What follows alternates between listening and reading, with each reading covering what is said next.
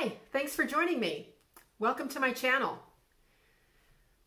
About 10 years ago, I was working as a development director in arts and culture nonprofits, raising about a million dollars a year with year over year increases.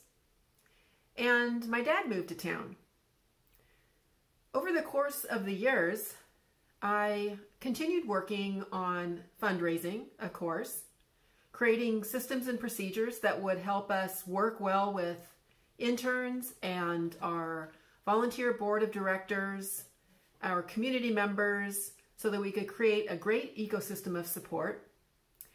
And at the same time, I was learning how to manage the affairs of an elderly man. It all became quite overwhelming. So about three years ago, I realized that I was completely overwhelmed. And in fact, I was burned out. So I was able to recuperate by saying, wait a minute, what is burnout? And I found out that burnout is a combination of cognitive overwhelm and emotional exhaustion. So when I started Resource Strategies, I wanted to create a full service package that would help social enterprise leaders manage overwhelm, burnout, and create a real sense of priority around the most important things. Because oftentimes in our social enterprise organizations, we have so many priorities because we are serving so many people that we uh, can end up uh, running out of gas or running in all directions.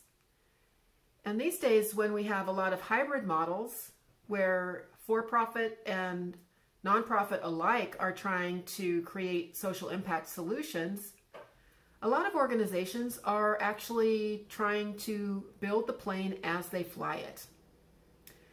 So it is a great idea to get support around your overwhelm and priorities management to preserve your sanity, your health, and make sure that your business is the best it can be.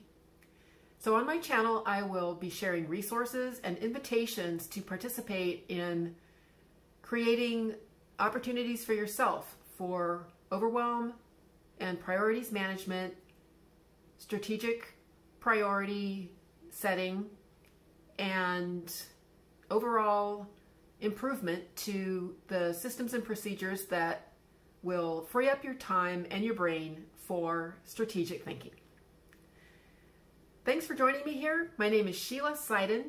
Please drop me a note, drop me a comment, give me some feedback on how you're doing.